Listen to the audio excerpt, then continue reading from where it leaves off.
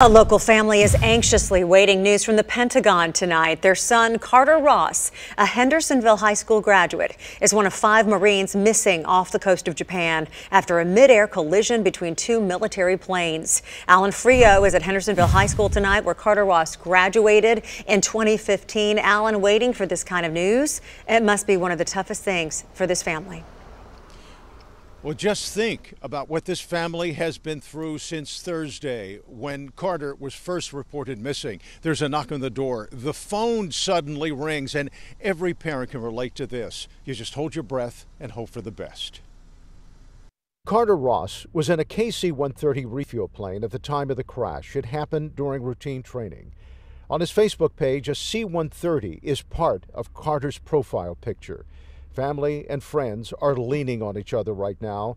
They are all gathered at his parents' Hendersonville home. A family member told me they are hoping and praying for a safe return. They don't want to speak publicly until everything is resolved.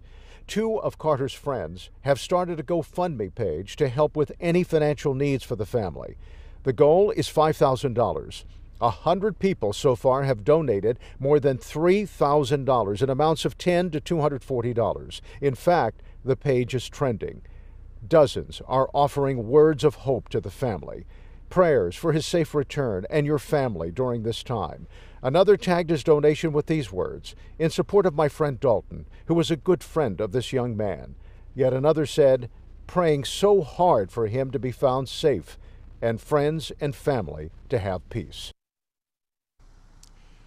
Now, the crash happened during a very difficult refueling maneuver right over the ocean. Search and rescue crews are scouring the ocean about 60 miles off the coast of Japan to look for these five missing airmen.